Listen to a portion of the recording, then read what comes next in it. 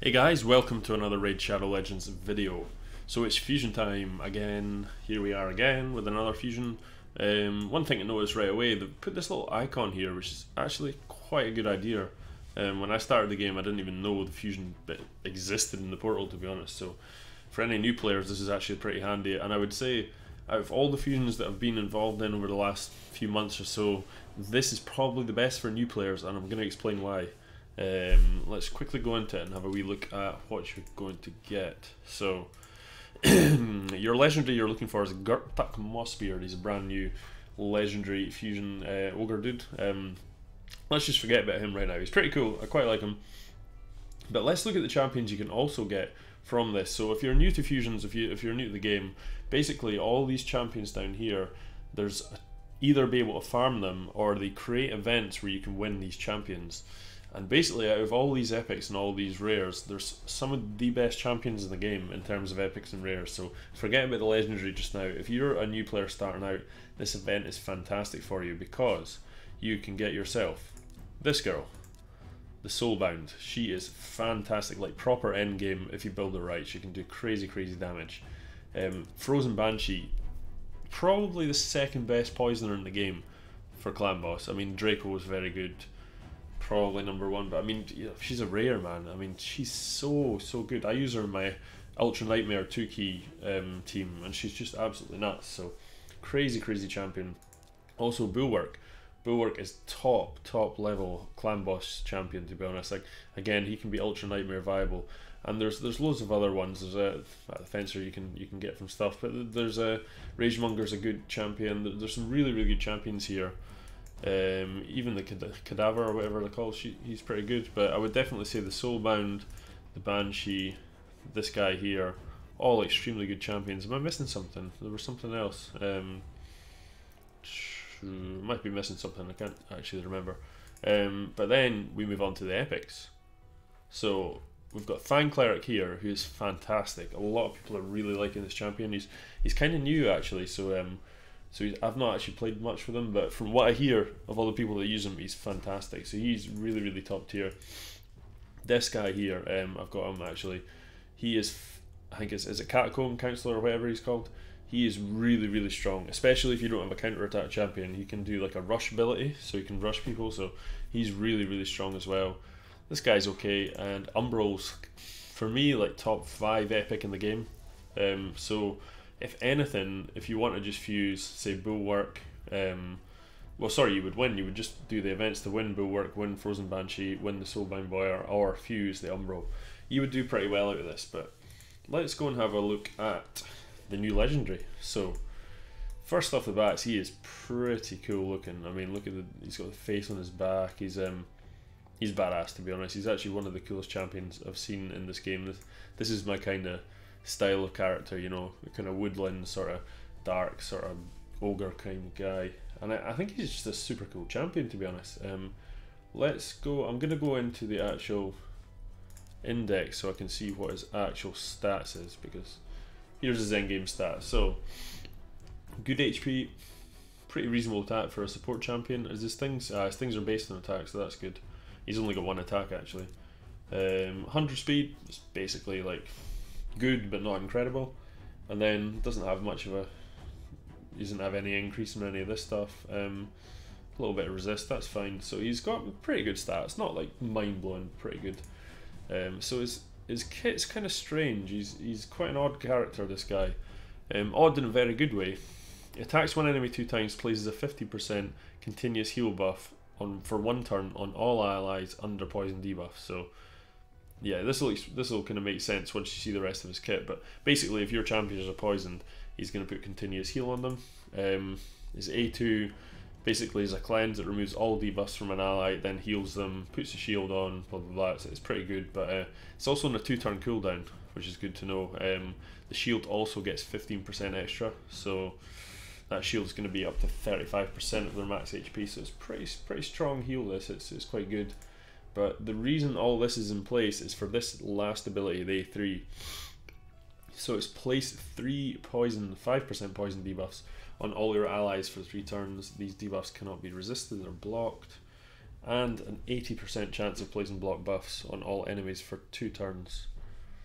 This is 100% when booked. Uh, sorry, I just hadn't read that last bit properly. Three turn cooldown, so you're going to be able to continuously keep this up. And the reason you want to poison your own champions is because of this passive. So allies under the poison debuffs inflict 7.5% more damage for each poison debuff on them, stacking to a maximum of 30. This damage increase applies to all of their skills. So ah, this, this is a weird one. It also increases allies resist by 15, so you can potentially um this doesn't actually say maximum. So I mean at the most you can get four poisons on someone to get the 30%. So that's going to be like the three from him. And Then someone like the only one that springs to mind is Occult Brawler because he poisons himself. Um, although yeah, because it specifically says poison debuff, it doesn't say any other debuff. Um, yeah, so that's going to be like that's the maximum of thirty, but this doesn't seem to have a maximum. So someone like Occult Brawler, not that you would use him in arena or anything anyway, but it would be quite cool to have like you know seven or eight poisons on him, then he's just going to resist absolutely everything. Um, this is good to know actually this isn't resistible. So if it says here debuffs cannot be resisted or blocked, so that works quite well with the fact that this increases resistance because that would be stupid, you know, if he puts more poison on then you can't get any more on him. So yeah, that's quite crazy. Also, it would be quite interesting to maybe try this with like, um, what's the set? There's a set that um, I can never remember now, but it decreases random cooldowns, so you can maybe just play this and play that again, um, and really boost your resistance up. But it's a it's a pity this caps out at thirty percent. Um, although I might be completely wrong here because it might need to be thirty percent because it might just be crazy. So in the game you've got things like you've got big increase attack which is fifty percent I think you've got sixty percent increased defense which scales off their damage to defense characters. But the thing about this ability is this does 30% on everything. So your whole teams, you can have an attack based champion, a defense based champion, an HP based champion all in the same team and they'll all do an extra 30% damage with this guy. So that makes it quite interesting, especially if you can team it up with, you know, increased attack, increased defense and this. I think this might be pretty damn good. I really just have to playtest the guy. It's kind of like when Rotos came out I think if you look at my video when Rotos was the fusion, I wasn't totally sure on him, but I read his kit and I thought myself, you know what, this actually seems insane, but I'm not going to go overboard because it might not play out the same as what I'm thinking, but it was insane. Um, and with this guy, I'm kind of getting the same feeling with. Um, he's pretty, he's decent enough stats, but this kit's something totally new. It's very, very support based. You know, it's um, it's about as support as you can get to a character. And th- this set might end up coming more handy than you think because the way this guy works, he's, he's going to be doing five percent poisons to your to your allies, so it's kind of dangerous. You're going to be taking damage from it. Um, oh, I forgot to also say it's an eighty percent, which is hundred percent when booked, of placing a block buff debuff on all enemies for two turns, which is actually really really good as well. Um, I think that's been overlooked here because block buffs is really really strong, and for two turns, um, I use Umbral Enchantress quite a lot and she does that extremely well actually. So, I mean, block buffs just null and voids a lot of people in arena. Um, things like Siphi, boom, put block buffs on, and like her abilities become useless, and she's like the best character in the game. So, yeah, I don't know about this guy. I've got a funny feeling he might be very, very good. Um, the continuous heal is just a kind of a trigger to stop the, the poisons doing too much damage, but yeah, I'm going to be interested to see him. I, for one, definitely am going to fuse him I've got most of the champions to do it already, and I've already kind of built up a really good strong Umbral. So I'm going to take the Umbral from the event and use that to fuse because um, I don't want to don't want to use her up. But yeah, yeah, he's super excited with this champion. I think he's going to be good. Who, where do I think he's going to be good in? Um, oh, it's hard to tell until you playtest him. The two areas I'm excited to use him in. I'm not saying he's going to be very good, but I'm excited to try him out in. Is number one arena because of block buffs, singly block buffs. If he didn't have block buffs, I wouldn't probably use him in arena, but I think the fact that if he's 100 speed, if I could, because you do not need to worry about this guy for attack, he's got like zero attacks anyway, no crit damage, you could just pump everything similar to an Arbiter into speed. Um, and you want him to play first. You want him to pump this onto your onto your uh, guys and block buffs on them. That way, if you can get him to go, you know, if you've got a crazy fast Arbiter, I'm thinking quick hit turn meter boost, he's maybe up at like 300 speed, then he's definitely going to go second. You play him, block all their buffs, as long as he's got good accuracy. He needs he needs accuracy for that, um, which might be an issue. We'll have to see, um, especially at high level plat. But even if not, it's going to put this this damage thing on on all your champions. Then you've already got the increased attack from Arbiter. Then you've got the extra thirty percent from him, and then hit with a Ghostborn or something. You know, a massive hit for like AOE, decrease defense, and then finish off with your last champion. And that might be all she wrote for most teams actually. Hmm, it's gonna be interesting. Yeah, I think I think this might be pretty good. You know, I, th- I think so. But the other area, sorry, I should say, is Clan Boss. I'm quite excited to see him in Clan Boss. Um, the good thing about Clan Boss is I could potentially run him straight into my unkillable team, which I'm going to be doing a video on soon, guys. I know I've promised it for ages, but life is busy, busy, busy, so it's quite hard just now. But um, yeah, I think this guy could slot straight into there, um, just to try out and just let's let's test and see if this thirty percent extra damage, which might not, it's not going to be thirty percent. It's only going to be twenty two point five because I'm not going to be able to reliably. I mean, I'll definitely be able to keep Occult Brawler in the big problem with the Cult Brawler is the more stuff you put on him, he might end up taking that extra turn when he removes five debuffs, which is that's an issue because that screws up the kind of turn rotation. So I think you're looking at a 22.5 in Clan Boss really.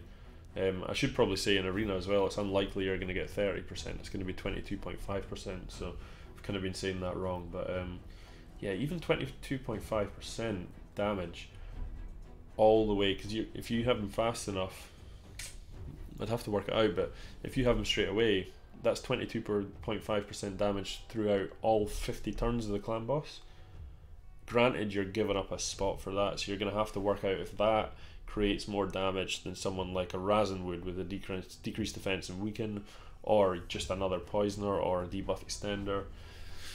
It's just going to be trial and error. We're just going to have to see how he goes. But um, I've got a funny feeling Arena might be where he's at. Um, I don't see him doing that amazing in dungeons, but I might be totally wrong. Totally wrong there, but we'll see. The dungeons are a wee bit short. This guy seems like a bit more of a kind of longer longer term or nuking I don't know. I don't know. I really don't know, but I'm excited to use him. Uh, anyway, let's quickly have a look at.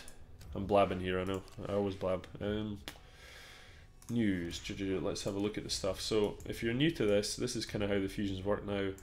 Um, to fuse them, you're going to need these four champions Catacomb Councilor, Fang Cleric, Seneschal, I think that's how you say it, an Umbral Enchantress. Um, to do, you can get every champion directly through events, challenges, well, aside from Catacomb Councilor, who you need to fuse, but you can also get everyone you need to fuse them from events too. So from, you can get everything you need from events. Um, I'm quite fortunate, I'm pretty sure I've got Catacomb Councilor as well. Like you see, he's a very good champion in his own right. Um, but um, yeah, so to get him, you have to get these four champions here. Um, I've got Soulbound. You have to get him from an event, that from an event, and from an event. But yeah, that might be it. It's quite resource intensive. I'm not gonna lie. Um, but getting everything else from the from the events is quite cool. So where where did you get them all? Fang Cleric is available from this champion training event, which is probably too hard for most people. I'm not gonna lie. There's quite a lot of points you need for this. Um, you're talking 20,000 points. That's a lot. Like, I'm end game and I play this a lot, and I struggle to get that 25, 20,000 points unless I'm just like got a bulk of like level 6 champions that I'm needing to, to level up. Um, sorry, rank 5 champions that I need to level up. Yeah, it's going to be a tough one. I, I've, I've yet to hit the 30,000 mark, so I, I really think this is massively overpowered, uh, overpriced for the for the one legendary skill tome. For, for, for me, this would for 30,000 points, I mean, the sheer amount of stuff you've got to do to get there, I would want like five void shards or one sacred here, and like like four four or five legendary tomes or something three or four maybe i don't know. I have to be more than this anyway that's hopeless um, but I, you could probably grind 20 if you really put your head down and it's it's two weeks long actually so i guess it is, it is quite long. I think the last one was maybe a bit shorter but um, so that's how you get that one as you can see, you can get this guy here from a Dungeon Divers event coming up, and a Summon Rush. You can get Umbral straight from the Summon Rush, which is pretty cool. Problem is, your Summon Rushes aren't the easiest thing to get the rewards from. You have to you have to kind of spend a bit of money normally unless you've saved up your shards. Um, so Fang Cleric, or you can get these four champions, and these all these four champions you can get from all these events. Then it's really cool because they actually tell you the exact dates these events are going live. And what you want to do is you want to min max your kind of your your um, energy use during these things. So, for instance, uh, the Cudgeler, whatever you call it, available from the Dragon Tournament May twelfth to fourteenth. Now, what you want to look at, there is a Dungeon Divers event that starts on the May thirteenth. So I would probably hold off today, May twelfth, doing the Dragon Tournament until tomorrow hits, because then you're going to get double the rewards. You're going to be getting the rewards from the Dragon Tournament and the Dungeon Divers event rather than doing them both separately it's going to cost you more energy. So that's kind of how you want to do these things is really just look through all the events time when you're going to do what and maximize your uh, maximize your rewards from the energy spent and it's going to save you a ton of energy and a ton of time and incidentally probably a ton of money if you if you do spend money on this game. Um, Seneschal you available from Dungeon Divers event. This is a long event again. So this is May 13th to May 22nd that's pretty cool. And the Summon Rush Umbral Enchantress, yeah, that's just coming up tomorrow. So that that is probably going to be fairly. I don't know. It depends how far up the the um the reward section they put Umbro. Umbro's very good. She's extremely good. So I wouldn't be surprised if they have her up at like you know. 3,000, 3,500 points or something, but hopefully not. Hopefully they put her down a wee bit, and that would be cool. Um, Catacomb Councilor, you have to um, get all of these champions from these tournaments. Um, that is kind of an issue.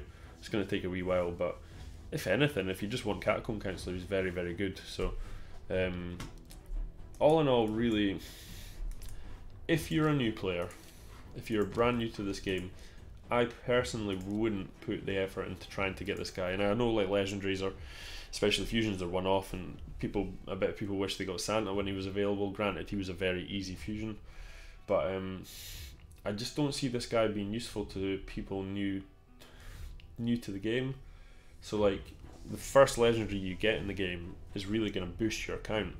And to be honest, this guy needs to be played. He's quite niche, and he needs to be played with certain other champions, and he needs to, you know, he's, he's an end game champion, I would say, and I think he's going to be a very good end game champion. But he's not like an end game champion like, like a Valkyrie or Siphi or something like that. It's just that's just going to totally skyrocket your account in every single area. This guy's very niche, does one thing kind of different. I might be totally wrong. This is all speculation, but I would say I, I would probably go for um, Frozen Banshee.